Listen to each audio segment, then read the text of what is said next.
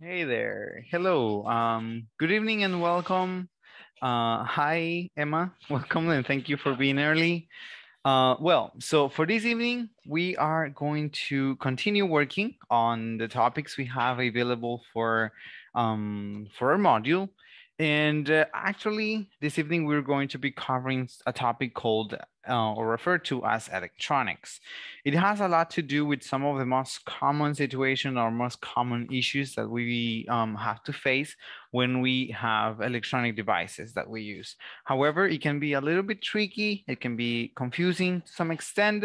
Therefore, it is important for us to know when we're going to use those specific verbs because the main thing or the main section is going to be dealing with the verbs that we have in, um, in storage.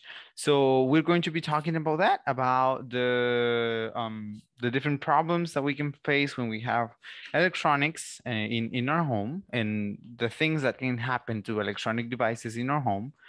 And also we are going to be covering, if we have the, um, the time, we're going to be covering well, the second section of the module that has a lot to do with the world we live in, the things that we can see around the world or the things we can face around the world. Um, apart from that, if we have enough people, we're also going to do the practice of the first conversation. We haven't really completed that um, just yet, so we're going to have to continue working on that. Now, um, before we go to deal with any of these topics, I would like to know, do you guys have any questions or anything that may have happened during, um, well, the day regarding the, the platform or the topics we have been working with? Yes, I have a question. Because I don't know what um I don't know if you're thing that I'm doing. uh, well probably Yes. your audio isn't totally working Emma because I see that your your mic was off but I couldn't I wasn't able to um to hear you. But well yeah. Oh wait. It might be on my side. Let me see. No I think it's it's you this time around yeah I think it's your audio the one that isn't really coming through. But well so um as I as I mentioned we're going to be working with that. Um we're also going to be doing a little bit of a practice from the topics we had from last night. Remember we were talking about keep with gerund and need with gerund and passive infinitive. It's always important for us to reinforce the topics to reinforce the examples we can present so that we have a clearer or um, better idea of what we're going to be doing. Therefore, we're going to be doing that. And uh, if we have some time at the end of the class, hopefully we will, we can also go ahead and talk a little bit about, um, well, you know, the, the, the different activities that you're supposed to be developing for this module. Okay, so the first thing here tonight is going to be um, once again, remembering that we have to complete this conversation, which we haven't, we haven't really had the time to, um, to practice this one. Um, I think it is already clear. Everything that, that is included in the conversation has already been discussed and has already been explained. So there is really no need for us to stop for such um, a long time to talk about this. Now, here is where I consider um, is important for us to, well, to get to talk a little bit about this. And once again, as I mentioned last night, gerunds are a very specific characteristic of the English language. Is something that not many languages have, and they are, well, used in many ways, not only when we're talking about problems, but also when we are um, explaining or well providing explanations to the things that we do in our with a regular basis. For example, when we talk about routines, we can also use um, some gerunds. So for this evening, um, once again, I would like to have some examples. We have already kind of done this, but uh, I would like you guys to come across and provide some examples for the different um, uses that we have to this. Now, The only difference is going to be that I don't want you guys to um, to talk about this or to or to use this in the in the well environment of a problem not necessarily to describe a problem but more like to just talk about something that happens repeatedly Eso sería básicamente lo que, lo que vamos a hacer es dar ejemplos que no necesariamente tengan que ver con problemas, que no necesariamente sean verdad acerca de problemas, sino que más bien usar estas estructuras con ejemplos de cosas regulares. O sea, en, el primer caso, sabemos que keep se utiliza cuando hablamos de cosas que suceden con regularidad. Entonces, eh, algo, ¿verdad? Que pues sigue sucediendo, que pasa muy a menudo en sus vidas. Luego, en el caso de need, sería, ¿verdad? Lo mismo, algo que ustedes consideren que podría ser, por ejemplo, una necesidad que ustedes puedan tener como por ejemplo, uh, we can say, I need going to the beach. O sea, eso sería no necesariamente un problema, sino que simplemente, ¿verdad? Un, un deseo. Entonces, poder utilizar estos, eh, estos, esas estructuras, no necesariamente solo como problema, sino como um, otro tipo de situaciones que podemos llegar a vivir. Okay, so the first one, remember, when we use keep, as uh, always, is going to refer to something that happens over and over, something that continues um, to happen once and once more. So, um, what example would you have in mind for something that continues happening in your life? Evelyn? Um, it's not in my life, but uh, maybe could be the kids keeps playing outside. Wait, entonces creo que sí. Oh, un, un momento. Creo que sí es mi audio. Oh, sí, aquí está. No. I don't know what's wrong because I am not able to hear you right now. Can you hear me? One second. Es, como es viernes, no quiere funcionar ahorita. No because I can't hear you. Okay. Come again, please, Evelyn. Uh, maybe could be the kids keeps playing outside. No, no. Well, now that's sad. Looks like we're not going to be able to listen to one another right now. Bueno, entonces aparentemente no tenemos eh, audio porque no logro escuchar a ninguna de las dos, así que no creo que sea problema necesariamente de ustedes. Puede que sea a mi lado que haya problemas. si gustan, lo que podemos hacer también es hacerlo a través del chat. Sí, podríamos crear los ejemplos y poderlos enviar, ¿verdad? Como un mensaje. Tampoco hay problema en hacerlo de esa forma. Entonces, si tenemos una idea, ¿verdad? Del ejemplo que podemos utilizar, el ejemplo que podemos poner al utilizar keep en a gerund. Gerund, una vez más, eh, se refiere, ¿verdad? A los verbos que utilizamos en su forma participe del presente, siempre que colocamos el ing al final de los mismos. Entonces, eh, y pues cuando lo usamos con keep se refiere a algo que sucede muy, muy a menudo. Ok, muy bien, excelente ejemplo. Sí.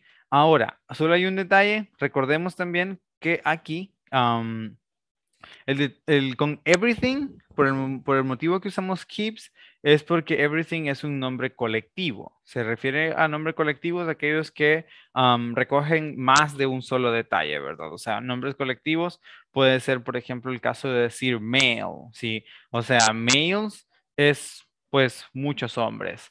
Eh, y en, el caso de estos nombres específicos, así como cuando ustedes dicen, por ejemplo, my family, ese es otro de los collective nouns, ¿sí? o sea, nombres colectivos, nombres que no se refieren a una sola persona, sino que hacen referencia, ¿verdad?, a una cantidad de personas que están reunidas dentro del mismo.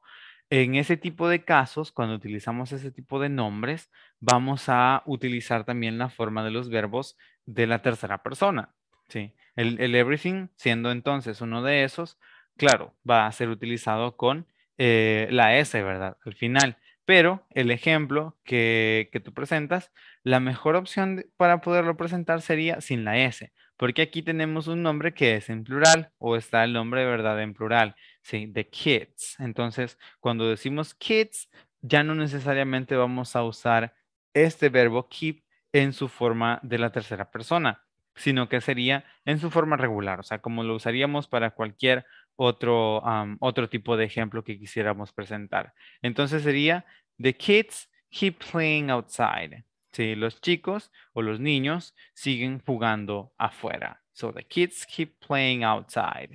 Muy bien. Ahora, um, how about Emma? Uh, through the chat once again, because I'm not sure if I'm going to be able to hear you.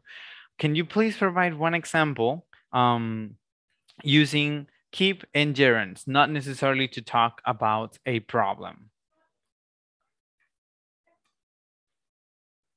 Ok, mientras tanto, eh, solamente eso, ¿verdad? O sea, recordarles que los nombres colectivos o cuando hablamos acerca de los collective nouns, estamos refiriéndonos a el tipo de nombres, o sea, que se utilizan para referirse, ¿verdad? A un grupo de personas que, o sea, forman parte de ese um, conjunto. En el caso que ustedes digan my company, si ustedes dicen my company, no están hablando acerca solo de una persona, sino que es quizá todos aquellos que componen la compañía en la cual ustedes puedan ser ya sea dueños o en la cual ustedes estén trabajando.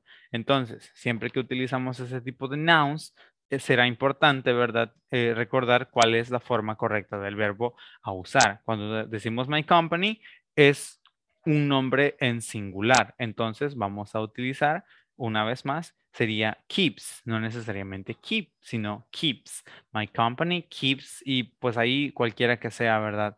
El, el detalle que vamos a mencionar. Ese es un ejemplo muy bueno también.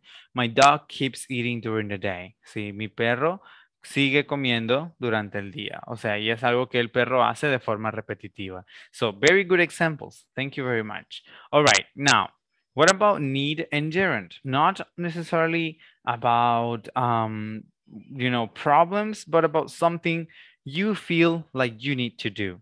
So, from um, Evelyn, what would be something or wait no this time around we're going to take emma first so emma what will be an example of you using this structure need plus a gerund um, in the case of something you feel like you would like to do if possible remember we're right now just interacting through the chat so please um, send your example remember when we talk about need is something that happens only one time or something that you feel like you have to solve or you have to get only one time. It's not something you have to do over and over, but only one single time.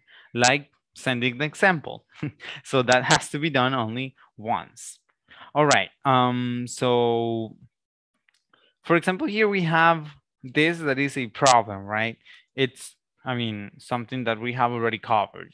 But remember the example that I just mentioned a while ago, um, the fact that I was saying, I need going, I need going to the beach. Going to the beach. Entonces, en este caso, es una situación en la cual, o sea, para mí se siente como, bad. Se siente como una necesidad. O sea, yo lo pongo de esa forma, ¿verdad? O sea, en, en mi caso, se siente como una necesidad. Si lo es, puede que no lo sea. O sea, puede que ir a la playa no necesariamente sea una necesidad. Pero si ustedes lo dicen de esta forma, eh, están expresando, ¿verdad? Algo que desean, algo que ustedes quisiesen tener. So I need going to the beach will be one of the examples. Now, apart from that, um, okay, so this one is actually a problem. Sí, cuando hablamos de esta, Emma, la, la que acabamos de mencionar, my laptop uh, needs fixing, sí sería, ¿verdad? Vendría siendo eh, vista como un problema. Mi laptop necesita ser reparada. Eso sí sería eh, quizá como una situación problemática. Tal vez podríamos utilizar este, esta estructura con cosas fuera, como lo que les, acabo, lo que les mencionaba. Podríamos decir, por ejemplo, um, I need watching a movie. Sé que para nosotros puede sonar extraño, o sea, porque esa estructura no es algo que utilicemos tan comúnmente, pero es algo que sí se puede decir. I need watching a movie. Por lo general lo que se escucha, ¿verdad? Es I need to watch a movie, pero no es todo el tiempo lo que vamos a, a estar utilizando. Ahora bien, uh, from the ones that are just joining, uh, Melissa, can you please say something? Because we're trying to test out the audio system. De momento no nos está funcionando el audio. Entonces quisiera ver si, si puede um, decir algo, Melissa, please. Just so we can we can test it. Or Beatriz or, Hi, or hi, Daniel, any of you guys? No, Hi, igual, creo que no. Creo que sigue fallando. Hi, teacher. There we go. Okay. Here we are. Hi, Beatriz. I can hear you.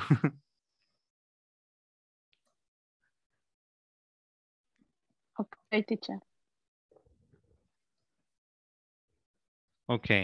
Am, bueno, vamos a continuar entonces. Eh, el siguiente es bastante fácil, ¿verdad? También, cuando hablamos de need plus the passive infinitive, o sea, es una, igual, una necesidad, algo que nosotros queremos resolver o queremos tener solamente una vez.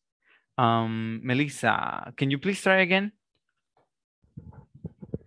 Because I wasn't really able to hear you. Hi, teacher. No, nothing. Okay, the rest Hi. of the class, can you guys hear Melissa? Once again through the chat, please, because yeah. Can you guys hear her? Yes, teacher. Yes. Okay, creo que entonces soy yo el problema, lo siento. Voy a intentar con otro Eso usted. because it's pretty weird. It has never happened before, but um, I am assuming that you guys are able to hear me. I think you you can hear me, but I cannot hear you at all. All right. Well, um, so moving on. Apart from this, we're going to leave this aside. I think we have already understood how this works. This is the one of the main topics we have for this evening, and it's it has to do with electronics. Um, this time it's going to be a bit tricky because of what is happening, because I cannot truly um, hear you guys, but we are going to. Oh, wait. Yeah, I do this, I think. Ok, creo que ahora sí. ¿Podemos intentar una vez más, Melissa? Por favor. Hi, teacher. Ok, there we go. Bueno, entonces eso vamos a hacer. Creo que voy a estar eh, escuchándolos a ustedes a través de la computadora y voy a continuar, ¿verdad? Hablando con el micrófono acá. Muy bien, I could hear you now. I was able to hear you now. Very good. So, electronics. Este es un tema que me- a mí se me hace muy interesante porque estos de acá, todos los que están en azul, son verbos. Verbos que nosotros necesitamos para hablar acerca de algunas de las situaciones que pueden suceder a veces con nuestros dispositivos, las cosas que tenemos, ¿verdad? eh, en uso por lo general. Aquí, de este otro lado, tenemos algunos de los ejemplos de las cosas que usamos y cómo estas cosas pueden fallarnos. El objetivo de nosotros es poder emparejar los verbos o las situaciones con eh, lo que está siendo mencionado en la oración. The first one is, for example, my computer is driving me crazy.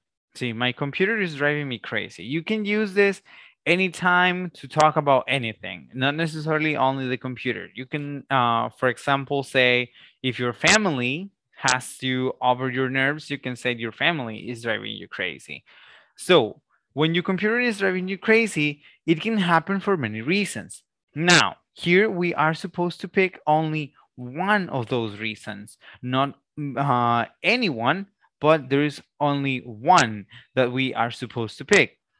If you are having problems with your computer, what do you think can cause those problems? ¿Qué creen ustedes que puede ser lo que causa esos problemas? Dentro de los ejemplos tenemos breakdown, we have crash, we have flicker, we have freeze, we have go dead, we have jam, we have overheat, and we have skip. So we have all those uh, different problems that can happen. I'm not going to be explaining what they mean thus far. Later on, we are going to understand the meaning of all of them.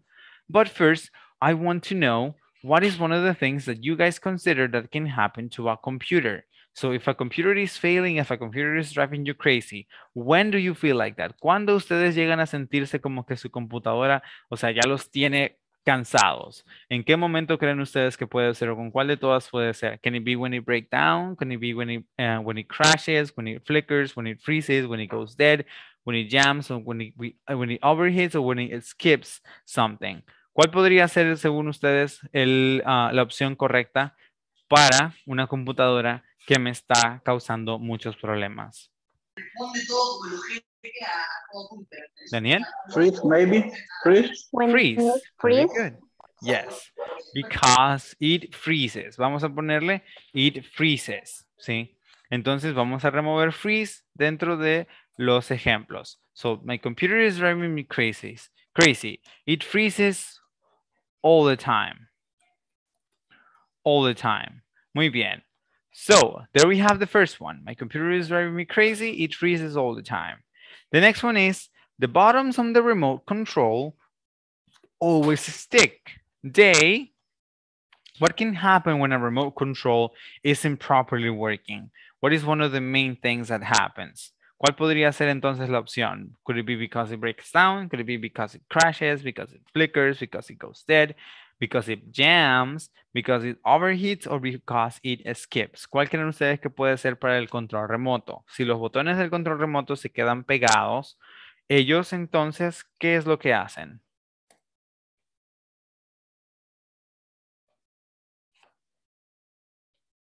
Um, Evelyn, what do you think will be the proper option for this one?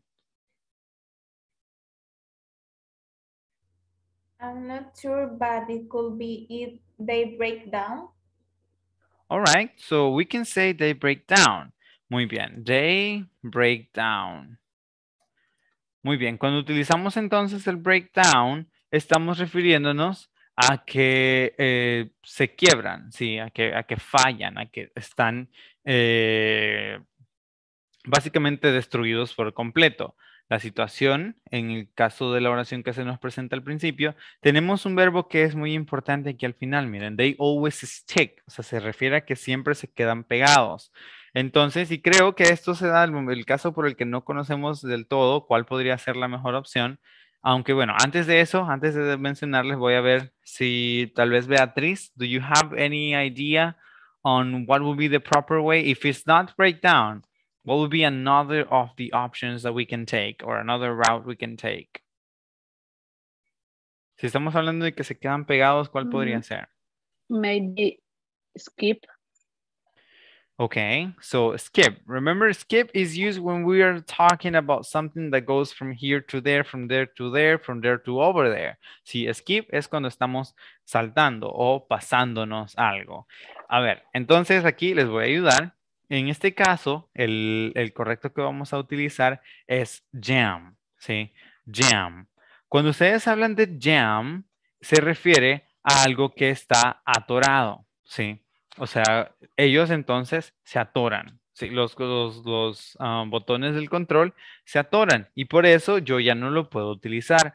¿Cómo entendemos eso? Se entiende por el verbo, ¿verdad? De stick, o sea, el hecho de que se quedan pegados. Entonces significa que se quedan también atorados y ya no funcionan, ya no los puedo utilizar porque pues ya no puedo darle las indicaciones que necesito al control remoto.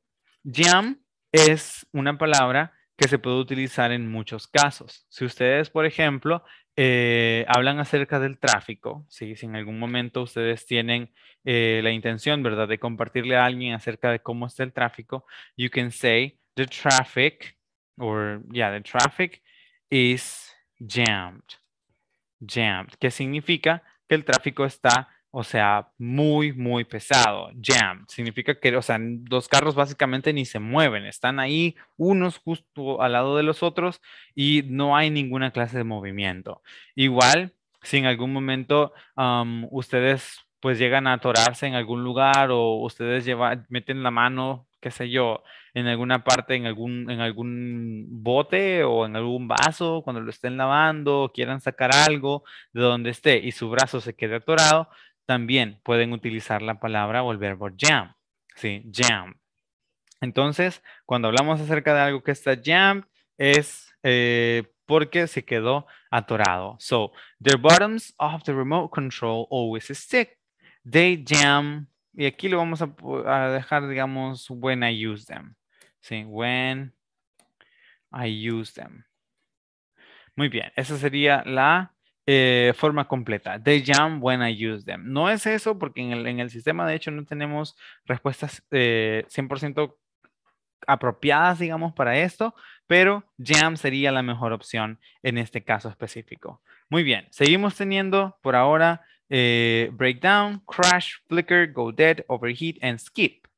The, the third one, that use CD player often jumps to another song. It, ahora, ¿cuál podría ser entonces para esta? It, ¿qué sería lo que hace cuando it often jumps to another song? Skip. Very good. It skips, ¿sí? It skips my songs. It skips my songs, ¿sí? Sería que se pasa, ¿verdad? O sea, o se salta las canciones. So, it skips my songs. Vamos a dejarlo en esa. It skips my songs. Very good. So, we still have breakdown, crash, flicker, go dead, and overheat. Number four. Um, our new flat screen TV has a problem. It's our new flat screen TV has a problem. It's ¿Cuál podría ser un problema que tengamos en una televisión nueva? Cuando hablamos de las flat screen, hablamos de las pantallas planas. Sabemos que, o sea, el, el material, ¿verdad? Es un poquito ya viejito, pero sería una pantalla plana. So, our new flat screen TV has a problem. ¿Cuál podría ser un problema que suceda con una televisión? Can it break down? Can it crash? Can it flicker? Can it go dead? Or can it overheat? ¿Cuál crees que sería la más apropiada a utilizar en este caso, Emma? I just have a question. What's the meaning of go dead? Go dead is when it's um, ruined, cuando ya no funciona. Go dead. Sí, se murió. Go dead. Well, I think that it's the answer. Okay, so you think go dead is the problem. Well, in this specific case, I will say that go dead is a bit too extreme to describe it just as a problem. Sí, o sea, cuando hablamos de go dead es algo que ya se arruinó, ¿verdad? O sea, y aquí creo que podría ser un poquito extremo, porque aquí estamos diciendo que tiene un problema, ¿sí? Cuando decimos it goes dead, significa que, o sea, ya no funciona para nada, no es un problema, sino que ya no tenemos tele, ¿sí? Sería quizá más apropiado si utilizamos este, el caso de flicker, ¿sí? Si decimos it flickers, a lo que se refiere cuando hablamos de flicker, it flickers, sería que am, básicamente tiene como fallos, ¿sí? O sea, tiene esos momentos en los cuales la señal no necesariamente es tan buena. If you, for example, are well, people can get to flicker. O sea, nosotros como personas, we can flicker. Cuando tenemos esos momentos en los cuales tenemos dudas, en los cuales no necesariamente estamos seguros de lo que hacer, eso también puede ser nombrado como un flickery. Pero flickers, en el caso de las cosas tecnológicas, son esos momentos en los cuales ustedes ven como hormigueos o fallos en, en las cosas. Si el teléfono ustedes ya lo golpearon o si es un teléfono ya viejito y de vez en cuando se queda trabado, that can also be described as a flicker. Sí, todo eso entonces puede ser eh, descrito, ¿verdad? Como un fallo que el teléfono eh, puede presentar y para una tele, pues sería eso, ¿verdad? Que tiene eh, hormigueos en la pantalla. So it flickers um, when we need it or when we use it. When we use it. So flicker, sí, flicker sería entonces el más apropiado, ¿verdad? Para describir un problema que pueda suceder con una pantalla. Now, the next one is, those old cell phones never work right anymore. They, okay, so breakdown is, as I mentioned, a total ruin. Crash is when something is failing. Go dead is when something once again goes completely over it's over like you cannot use it anymore and then we have overheat that is a problem that happens yes but it doesn't necessarily um mean that the thing is ruined completely. It's a problem, yes, but it's not a total ruin. So when we talk about those old cell phones, cuando hablamos acerca de los teléfonos viejos, si no funcionan bien para nada, they, what can be the best way to describe this situation? What do old cell phones do? Daniel? What do you think could be the best option in this specific occasion? Crash. Okay, yes, we can go with crash. Completely all right. So they crash. Mm, No necesariamente. No necesariamente. Crack sería para quebrado. Crack. Sí. Ah. Para quebrado sería crack. Crash Ah, es cuando estamos describiendo problemas internos del teléfono, cuando el teléfono se traba. mm, Sí, o cuando la computadora se traba, ustedes pueden decir crash. O sea, freeze es completo que se queda muerto ahí, ¿verdad? O sea, completamente trabado, ustedes no pueden hacer nada, solamente escuchan el ventilador, pero la pantalla está completamente quieta. Crash es cuando está teniendo problemas que, o sea, no es tan rápido como solía ser y por eso eh, sería, ¿verdad? La mejor opción. They, o- these or those old cell phones never work, work right anymore. O sea, que esos teléfonos viejos ya no funcionan del todo bien.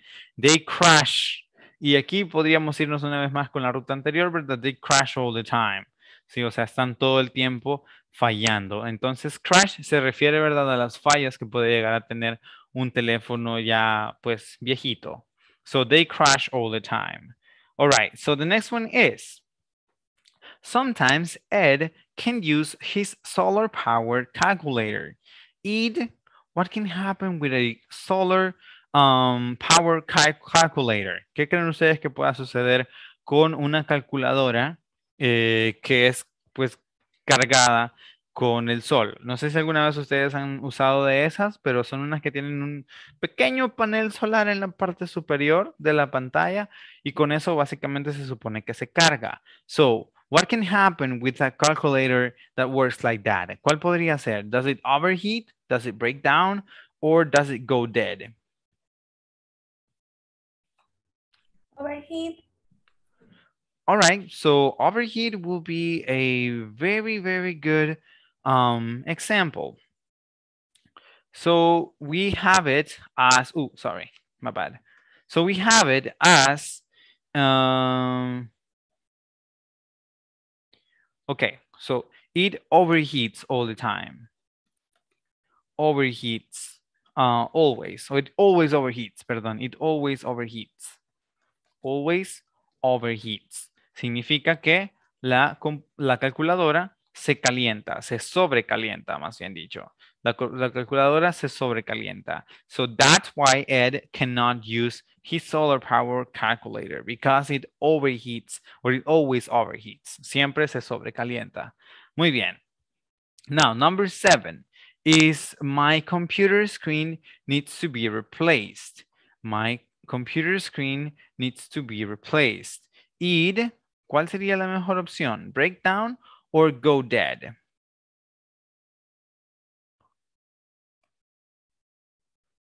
¿Qué crees, ah, Melissa? Uh, maybe breakdown. Okay, very good.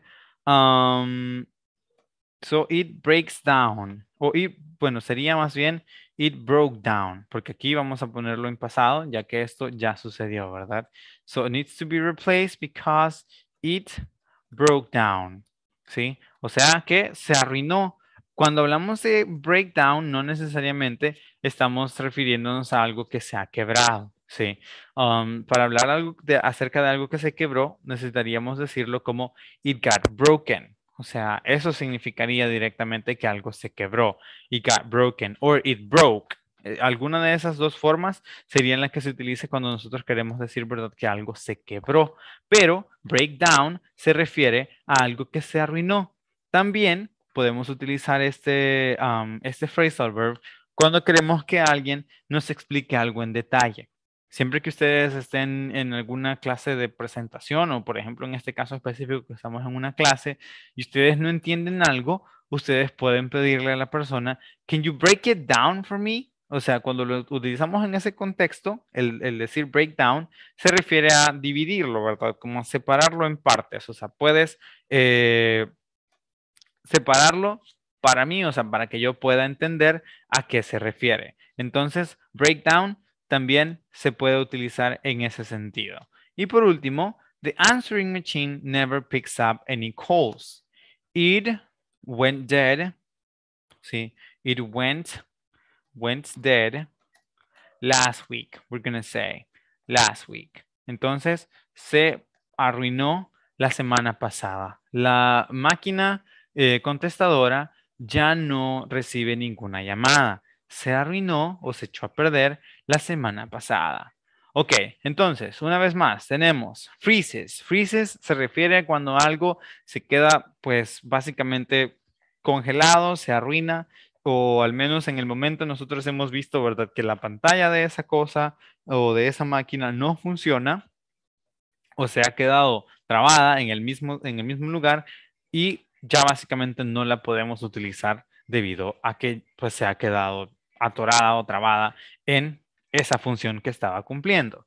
Jam sería cuando algo se atora, cuando algo eh, no puede ser utilizado. En el caso del teclado, last night I remember I was having issues with uh, letter T, la letra T en mi teclado en la computadora anoche me estaba fallando because it was getting jammed. Siempre que yo lo estaba tratando de utilizar, it wasn't really working. So it was getting jammed. See, my letter T. Now, that is for something that gets jammed. Skips. Skips can also happen with mouses. It, do, it doesn't always, uh, or it doesn't necessarily have to happen with players or things that have to do with um, the files that it has to play. It can also happen with mouses. It can also happen with um, some of the pads in the computer. Entonces también puede suceder, ¿verdad? El hecho de skips se refiere a algo que pues está como saltando de un lugar a otro. Aquí el ejemplo específico pues es porque estamos hablando acerca de un CD player y pues el CD player pasa de una canción a otra. Pero también si ustedes tienen un mouse que el ratón por un momento está en una esquina, en la esquina inferior derecha, ya al ratito ustedes lo ven que está en el medio de la pantalla sin que necesariamente hubiesen tenido que mover nada, entonces también eso puede ser descrito como my mouse doesn't work. It skips um, all the time, o sea que todo el tiempo se la pasa cambiándose, ¿verdad? Como saltando sin que yo necesariamente haga nada. The next one is flicker. Remember, flicker is when there is a tiny failure. It's not something too bad. It's not something that is going to ruin the whole thing, but it's a failure. It's something that is not going properly. So flicker.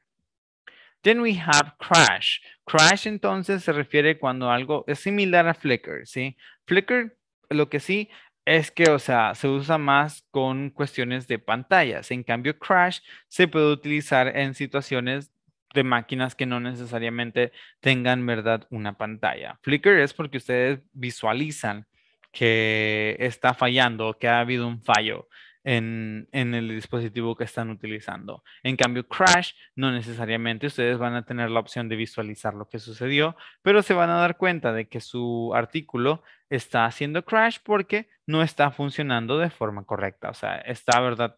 Eh, por decirlo así, fallando de formas inesperadas. So that is crash. Then we have overheat. Overheat happens when something um, doesn't work properly because it's too hot. A car, for example, can overheat. You yourself can overheat. If you're working under the sun the whole day and you don't have enough water, after a while, you're going to feel like your head is pumping too much blood and then you are feeling like you're overheating. So people can overheat, cars most regularly overheat. So overheat refers to something that is um, over the temperature that it should be to work properly. Broke down, remember, it's used when we talk about something that is broken, that is ruined, that cannot be continued to be used. So that is when we're going to use breakdown or broke down. Then we have um, go dead. A ver, aquí hay un detalle importante también. Con el caso de la, de la calculadora, ¿sí? Podría haber sido utilizado el go dead, ¿sí? It, goes dead all the time. También podría ser, porque aquí estamos hablando acerca de una calculadora que se carga con el sol. Y um, el caso es que sometimes it can use it. Cuando les dije que go dead se refiere a algo que se arruina de, o sea, por completo, de hecho cometí un error, porque también go dead se va a utilizar cuando ustedes hablan de cosas que tienen que ver con baterías. Por ejemplo, si su teléfono se queda sin batería, ustedes pueden decir que su teléfono went dead, o sea, porque pues se murió, se acabó la batería que el teléfono tenía. Lo mismo para una calculadora que pues sea cargada, ¿verdad? Con energía solar. Si ya no hay sol y yo le agoté la batería a la, a la calculadora, también puedo decir that the calculator went dead. Si ustedes tienen un carrito, por decir así, a control remoto o algo similar, que utiliza baterías, una lámpara que necesita baterías, si se queda sin esas baterías o si las baterías se arruinan, ustedes entonces también pueden decir que that specific item went dead. Así que el go dead se puede utilizar en ese otro sentido también. Cuando algo se queda sin las baterías o las baterías se, se arruinan, eh, puede ser utilizado el go dead. Muy bien. Any questions you may have about this, about the electronics or the different problems you can describe with using um, electronics? Teacher, I have a question. Yes, tell me. Uh, breakdowns. I I listened how uh, distribution. For example, I I I saw a breakdown system. Uh, can I can use a breakdown how or to refer on a distribution. Breakdowns. Yes to talk about distribution like if you're going to um to send this over here and that over there you can also use it in that specific case. Breakdown as i mentioned previously is um commonly used when we want someone or when you want someone to explain something in detail. So when you're talking about that when you're explaining something in detail that means that uh, also the parts of the whole are being divided the same happens when we're talking about distribution. You know, you have a pack of something. We have, for example, a whole truck of something. If we break down those things, if we uh, put aside one or the other, then we are also talking about distribution. So yes, we could um, use breakdown to, refer to something that has to be distributed. Así que no habría mayor problema, o sea, si lo utilizamos de esa forma también, para poder hablar acerca de algo que ha sido de alguna forma movido o, o cambiado de lugar dependiendo, ¿verdad?, de hacia dónde tiene que ir. Entonces, sí, o sea, hay compañías que esa es como la forma en la cual ellos se identifican a breakdown uh, distributor o sea, o a breakdown service provider sería el caso de o sea, una compañía que se encarga de distribuir, ¿verdad? Eh, los artículos que pueden llegar a ser um, enviados o repartidos en cierto lugar. So yes, breakdown systems or yeah, systems or, or, or equipment can be um, actually used and can be, I mean, the word breakdown can also use be used in in those um, with those meanings when you're talking about dividing or creating different lines for something. All right. Any other question?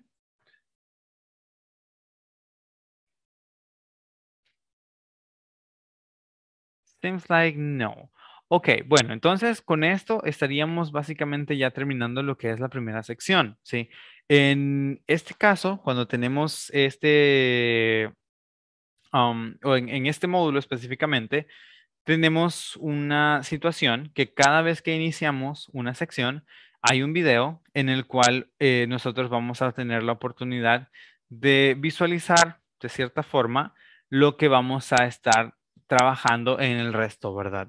De la, del, del módulo, o al menos, perdón, de la sección, de la sección sería. Entonces, así como les mostré la vez anterior el video acerca de la situación que estaba tomando lugar en el hotel y los problemas que habían en el cuarto, que es lo que hemos estado aprendiendo y lo que hemos estado, eh, pues, básicamente, ¿verdad? Trabajando en los últimos días, justo ahora vamos a ver el video que corresponde a la siguiente sección. Esa sería para la sección número 2. Y pues en un momento ya ustedes, a ver, ahorita sí ya las voy a compartir, a ver si am, vemos este video, sí, y sería entonces el inicio, ¿verdad? De la sección número 2. Ok.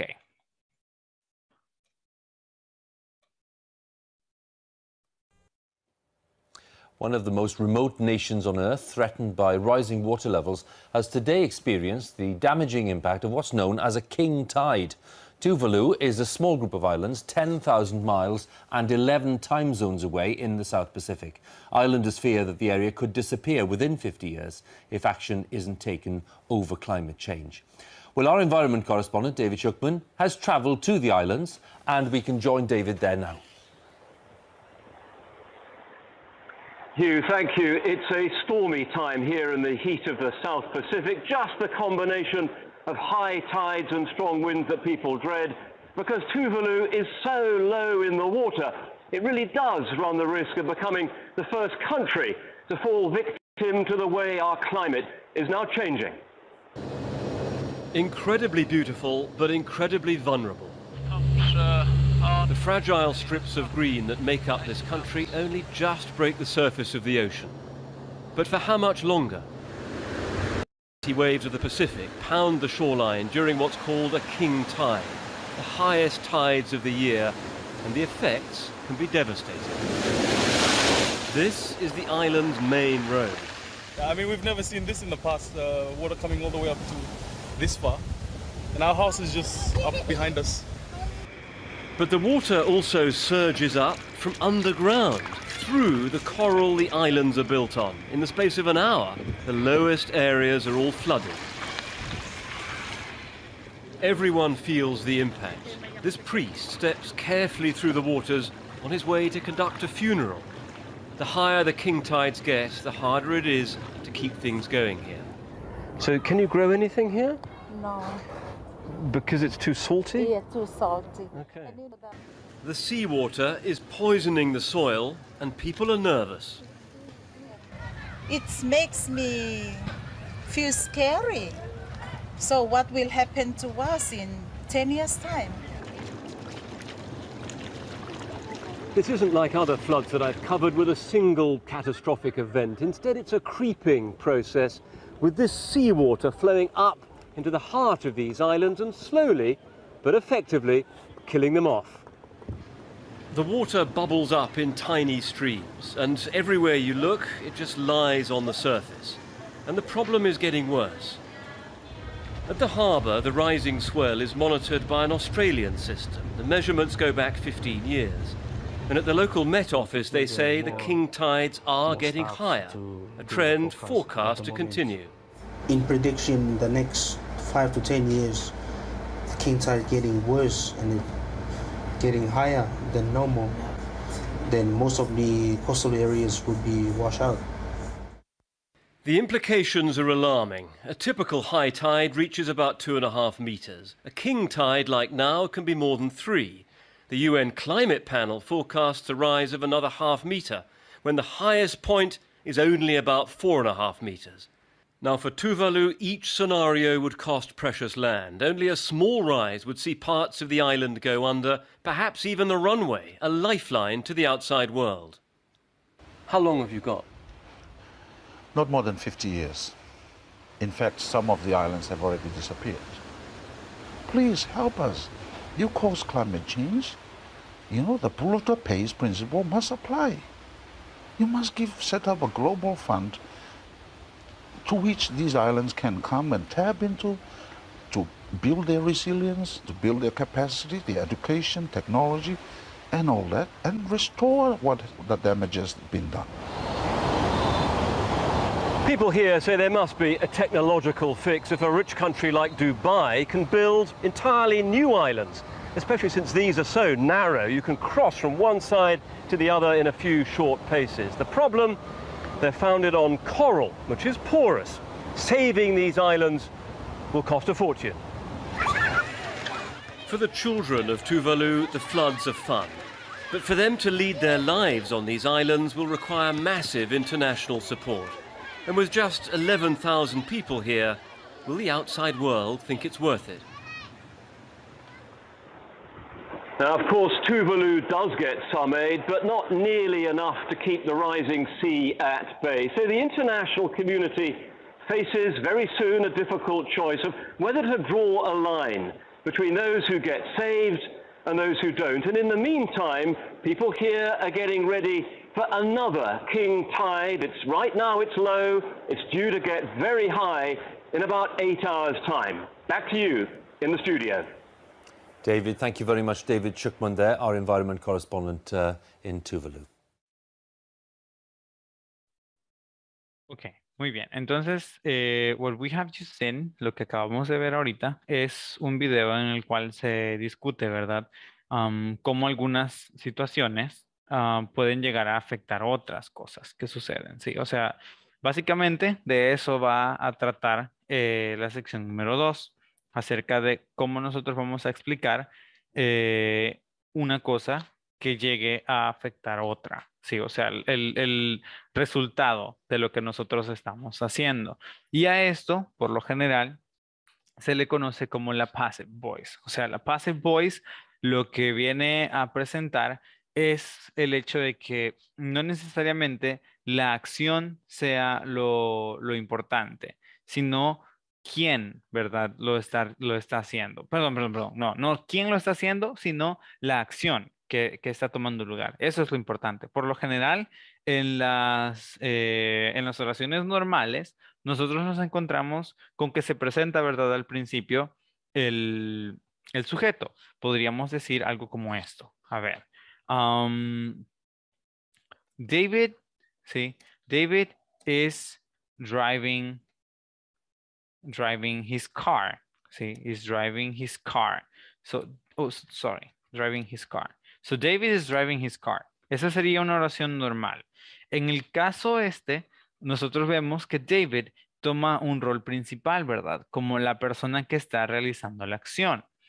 En el caso de la passive voice, siempre que nosotros hablamos eh, con esta forma, lo que vamos a colocar primero es lo que está sucediendo. Y sería de la siguiente manera. The car is driven, ¿sí? Or is, bueno, vamos a colocarlo de esa forma. Is being, no. Sería is driven, ¿sí? Sería is driven by David, ¿sí? Is driven by David. Entonces, el carro es manejado por David. No necesariamente vamos a tener entonces aquí a David en la primera parte de la oración, porque lo importante es que el carro está siendo conducido. Y quién está conduciendo el carro pasa a ser una eh, información secundaria, no necesariamente es lo más importante. Ahora, en el caso de cómo vamos a representar esto, también tiene mucho que ver. O sea, si por ejemplo yo solo voy a mencionar el by, que es la forma más común, ¿verdad? De crear un passive voice, eh, le resta de alguna forma importancia a la segunda parte de la oración, o sea, la parte donde se encuentra, ¿verdad? El quién está generando la situación.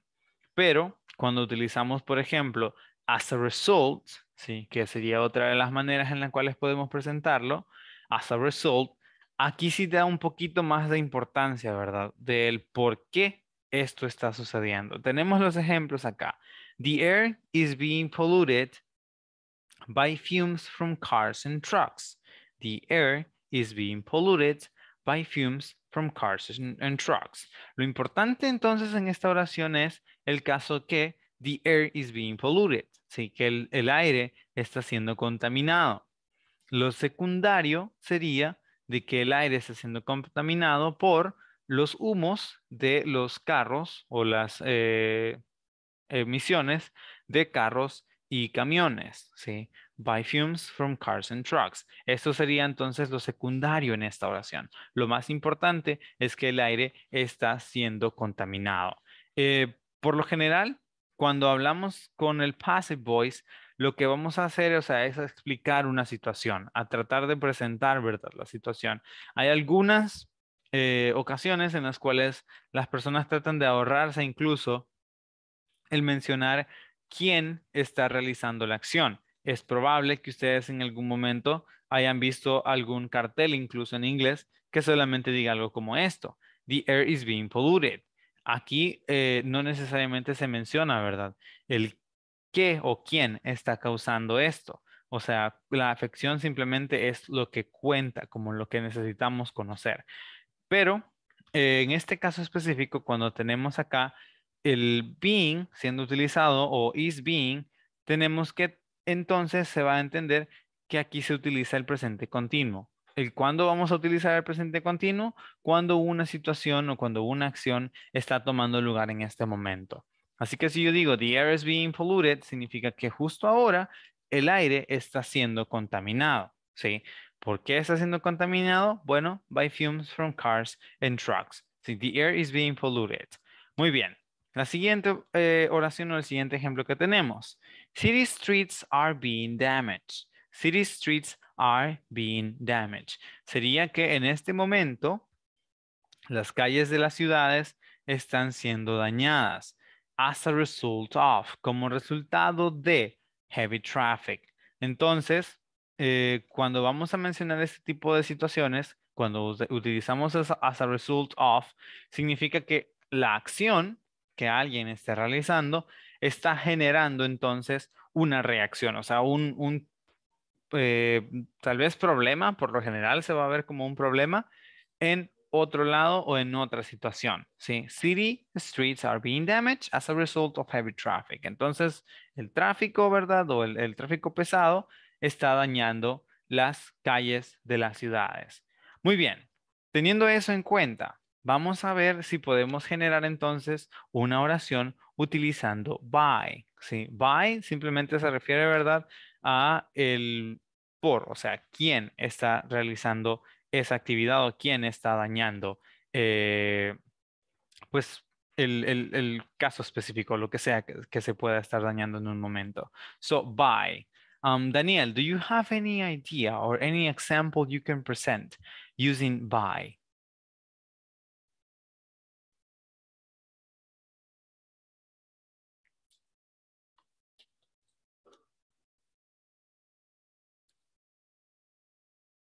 And the the city the city is being being dangerous dangerous by the criminal people.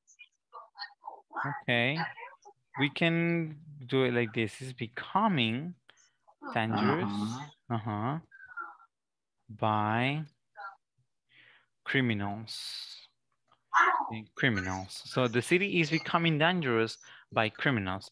Aquí probablemente sería mejor utilizar as a result of, ¿sí? Como resultado de, as a result of.